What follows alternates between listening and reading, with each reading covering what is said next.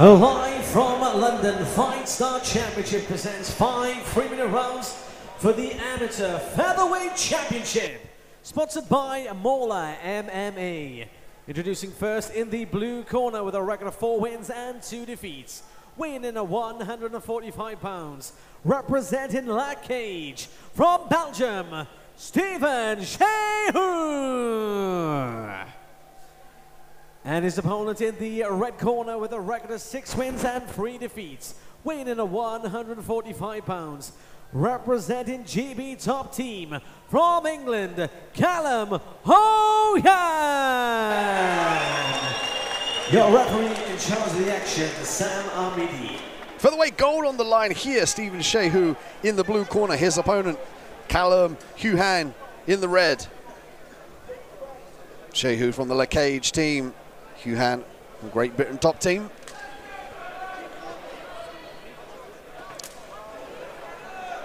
Callum looks to move forward.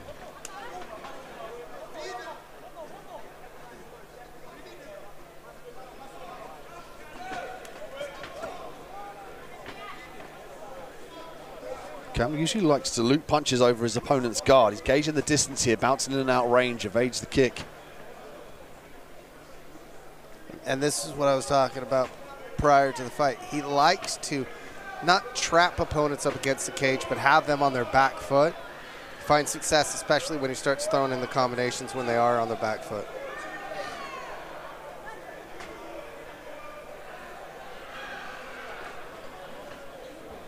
Feeling out process here in round one. Just over two minutes left in this first round. Cam looking to twitch for the left hook. He's got a nice overhand right that he sets up with that left hook.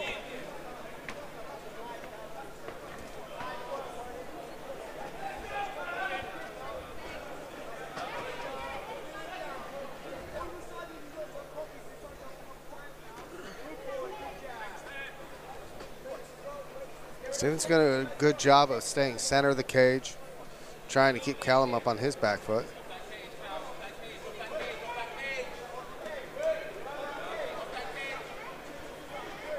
Looking to invest that left to the body and go upstairs with a hands drop.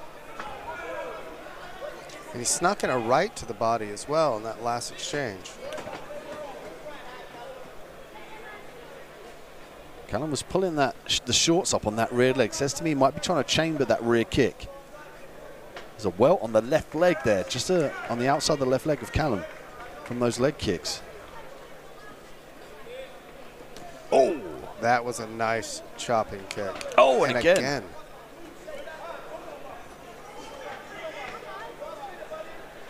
Callum's now changed stance.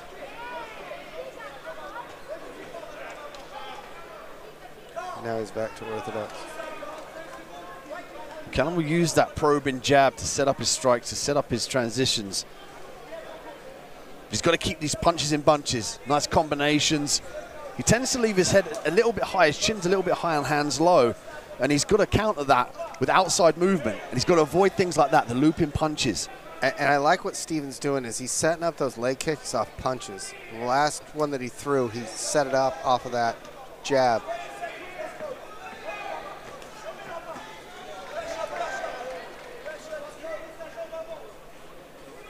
Ten seconds left here in round one. Both athletes looking to make a stand. And that lead leg for Callum already marked up from the damage that it's taken. He's got some redness already on the upper calf and across the quad. Take a look at the replay here. Steve with a nice body kick caught by Callum.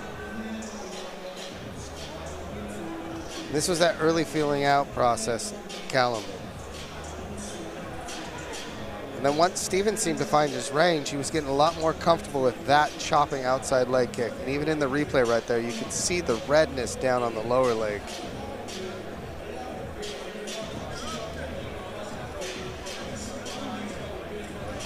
And he's waiting for Callum to switch stances before he throws it. So Callum's been switching to southpaw, and then when he switches back to orthodox, as soon as he's switching and that foot goes down, he's throwing that chopping hard leg kick. And Callum's feeling it because he's shaking out his legs right now. Or he's dancing, who knows? He might like this song.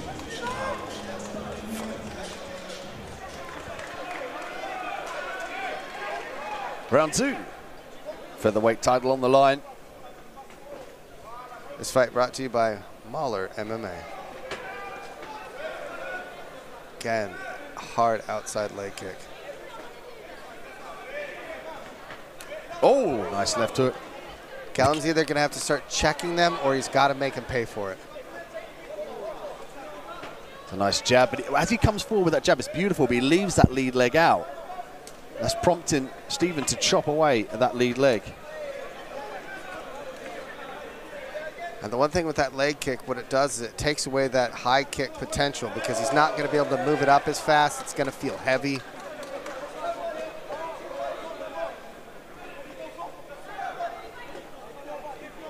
Shehu does a good job of covering the distance as well in the interim. Doesn't stay on the end of the punches. He forces Callum to fight close range, and that's when those looping punches come over the guard. Because Callum held his hands a little bit too low.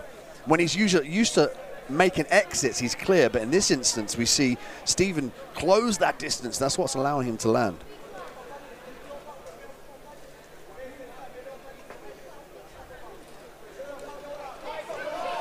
Nice double jab, right. He pays for it again with the inside leg kick.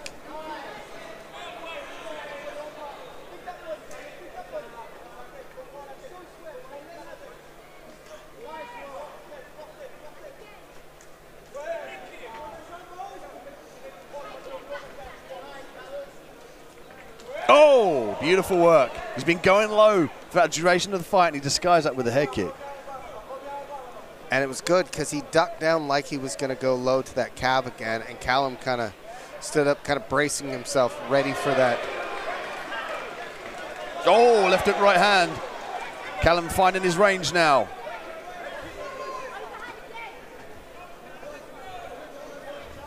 Shehu's got to keep that head movement. When he's close range, he's got to get it off the center line. He's standing pretty square, which has allowed Callum just to tee off.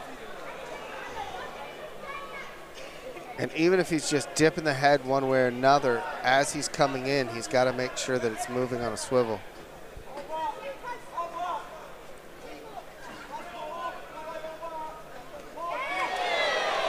Crisp left hand there from Callum.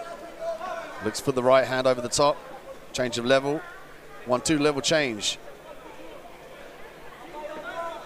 Oh, left hook right hand from Stephen. And Stephen is doing that dip, kind of jumping left. He goes high again with the kick.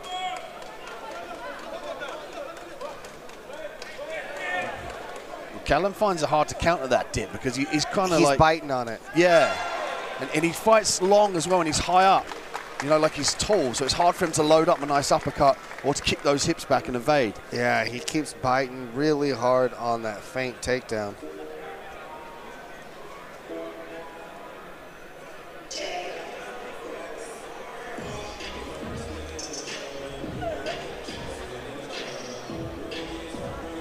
Solid jabs though from Callum, and a right hand just to finish. He's having a lot of success when he doubles up that jab and then follows it up with the right.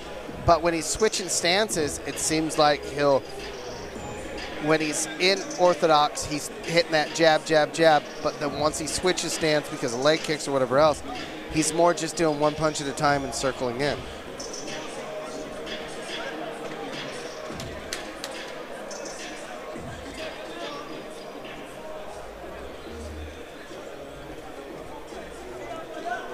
Callum's leg is showing the wear and tear, though, of two rounds. Both inside and outside of that lead left leg.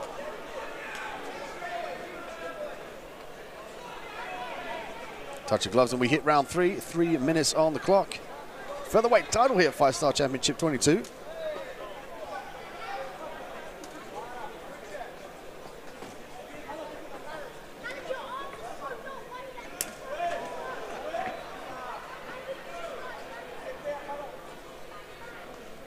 Interesting to see if Steven tries to bait him in with more of the ducks. And if Callum can think about just throwing that uppercut as it's coming in.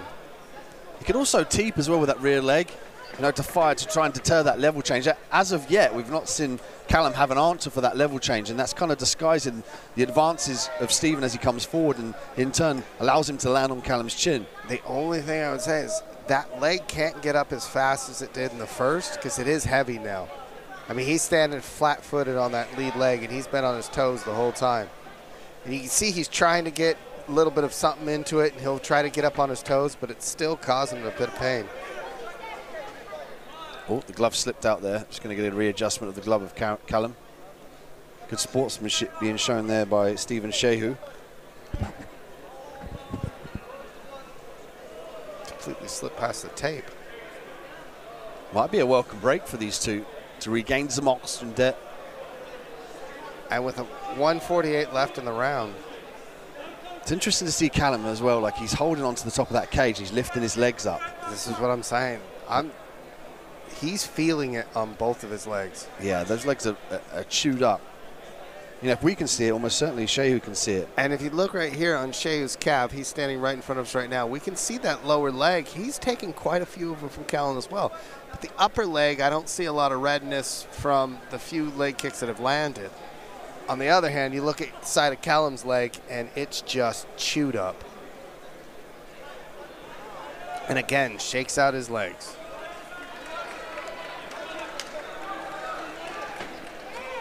Stiven Shehu looking to chew up that leg like a Staffordshire Bull Terrier.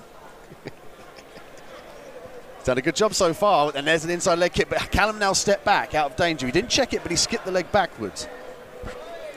One thing I would like to see, though, with Callum is let's make him pay for it. Oh, coming in more of a slip than a true knockdown, but another chance for Stephen to beat up those legs.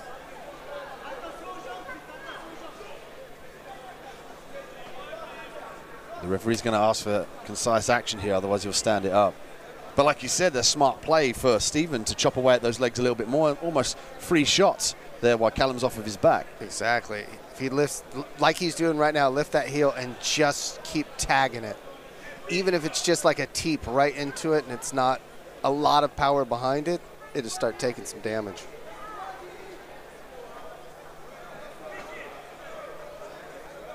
And he's, ooh, really nice up kick by Callum. That made him think twice about going back in.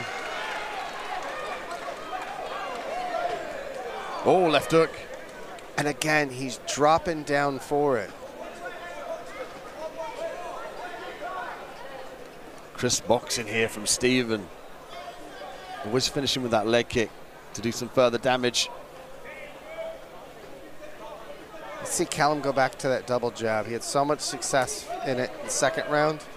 Oh, he was wobbled there, but, uh, but that left that touched the chin. A lot of it has to do with as well is his legs underneath him are not acting as they should be acting right now. He's having problems now with his back leg. Kid's tough as nails though. Heading to the fourth round of this championship fight and oh look at that leg.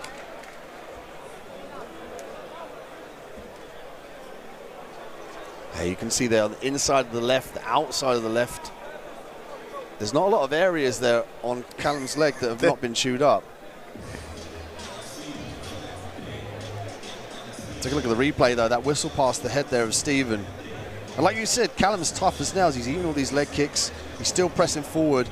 And it seemed like he, he was listening to his coach and he, and he kind of charged forward after this knockdown and he got the up kick and he got back to his feet and he pulled the trigger a little bit more close range can see the up kick here. Looked like Callum was looking for a leg lock. Right there. Nice push. And Steven just went, okay, yeah, you could stand up. I don't need to play with your feet anymore. This is all right. That hurt.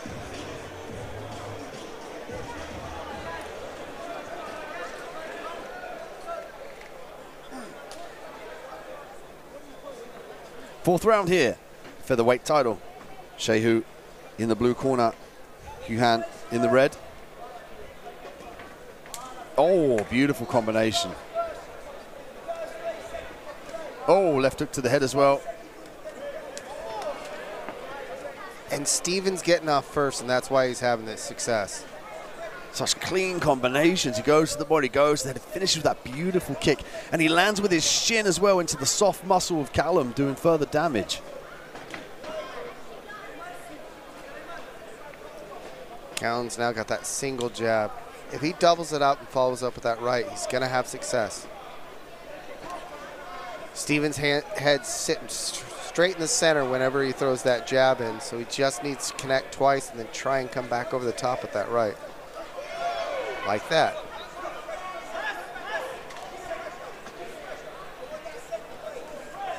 Heavy right hand there from Steven. Looking to go to the body briefly. And the thing is, Steven has his range, be it for kicking or punching. He now knows exactly where he has to be. He's comfortable there. When he's moving around, he's got good head movement. It's only when he's moving forward and either just through punches or getting ready to throw punches that his head's not moving. Steven got some nice slips, and we know that Callum's got some great head kicks, even though the legs are compromised. He's got to try and force a slip. I'd like to see him throw a jab and then a lead kick, just to kind of disguise and, and promote the head movement from Steven and try to get him ducking into it. See there, he slips off beautifully to the right, which is awesome. But if Callum can time that and disguise that, that switch kick with the left leg,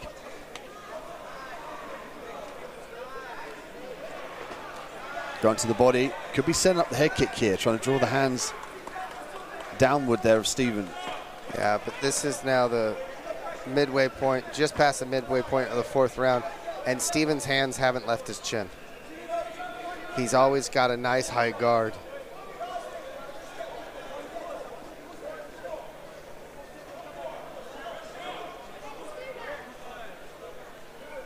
Like it was a little low blow there. Callum would get a little bit of time to recover. Got a neutral corners.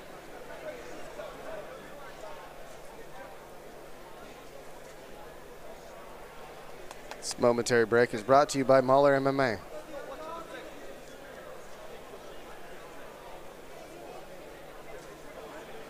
Very Sam Aldi gives him a quick warning to pay attention where he's throwing those kicks, and we're ready to go.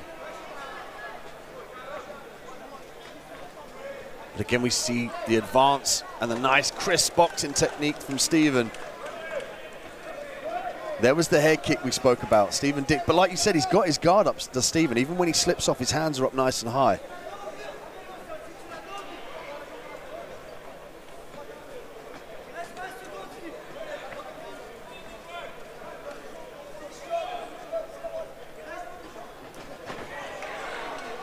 Dives for that single.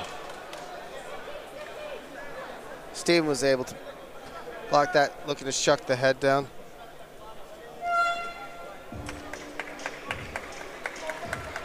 It's interesting to see Callum as well shoot for that takedown. We know that he's got great BJJ skills, a very active and offensive guard, great armbar. Um, you know, he's really tough to finish on the ground. So we might see him now coming into this next round, look to take this fight down to the ground and finish with a submission. With both of these guys, the amount of sweat that's going on, it's going to be tough to grab like arm bars, something along those lines, because that, that grappling is going to just turn into a mess. What I'd like to see him do is, and what we've seen in the past, is Callum has a lot of success when he's fighting off his front foot, when he's moving forward. And Stevens made it a point to stay inside range and force Callum to kind of fight almost on his back foot. Callum wants to win this fight. He needs to come out strong in this first, or in the first part of this fifth and final round and actually take control of the fight. Steven, on the other hand, it's all about just throwing those combinations and not ducking into a head kick.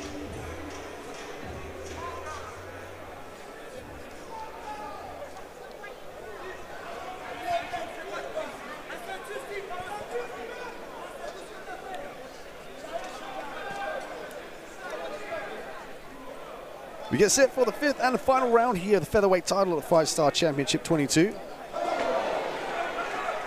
Callum seems to be oh. pulling the trigger here now. And I like it. He's throwing that stiff jab, getting out there to try to work his way into range. Looking to force Steven to fight off of his back foot. Oh, it might be an inadvertent eye poke there. Yeah. Immediately we saw Callum apologise.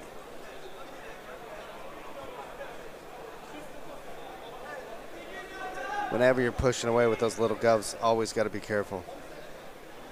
Yeah, often the uh, the amateur gloves with the with the larger seven to eight ounce uh, padding, they kind of tend to curl your fingers forward, so there's less eye pokes in the amateur rule set. More so in the pro when they've got they can extend the fingers up and towards their opponent, but it But- seems like I like the old pro, the Fairtex that Pride used, because those seem to go a little bit farther around and forced your hand into a fist.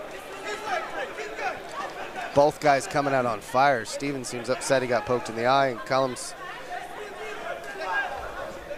Well, I'm happy that didn't compromise his vision. You know, Steven still looks like he's targeting correctly. As of yet, he's not walked on to anything silly. Still going to the body and then look for the left hook to the head. and he continues to move forward. He's not letting Steven just back, reset.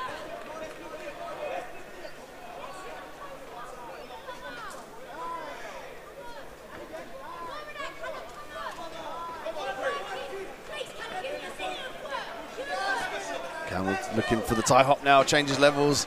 Steven digs the underhook in. Head kick attempt there from Callum. Again, that single jab. Steven just marches forward, that looping right. Steven with head pressure now on the outside position. Callum fighting the wrist.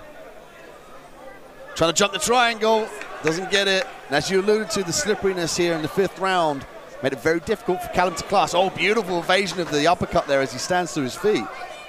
And that's the reality. These guys have been working hard this entire fight under Oh. these big lights, and it's hot out. Oh, wow. Oh, the head kick started that one off.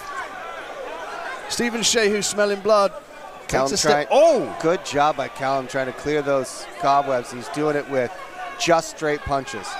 some now blood leaking from the nose there of Callum. Steven's got to look to try to set that right hand up. He's got just over 40 seconds left. He's got to try and separate and headhunt. You could argue the, the point here that Callum was hurt from the head kick and the swarm of punches from Stephen. And the two on one by Callum, that's a great way for him to clear the cobwebs.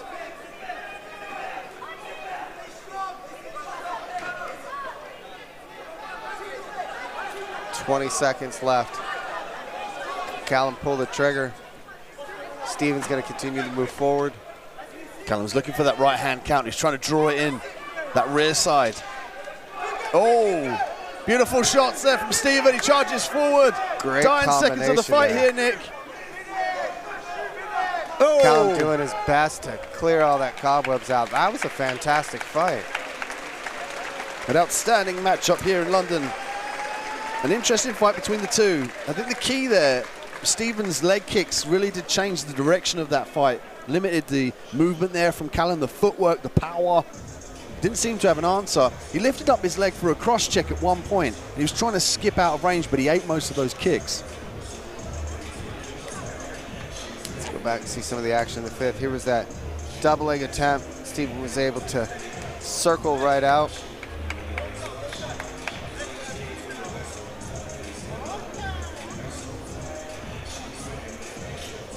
Stephen used the crisp techniques.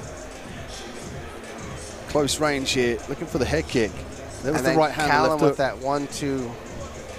And then as soon as he sensed that Callum was dipping down, Steven's throwing that left hand. That's a fun fight to watch. Brought to you by the folks at Mahler MMA. As we go to the uh, judges' scorecards, let's make this official. Ladies and gentlemen, after five rounds of action, we go to the judges' scorecards, who scored about 50 45, 48 47, and 50 45. All three in favor of your winner by unanimous decision. And now the amateur featherweight champion of FightStar Championships. In the blue corner, Stiven Shehu.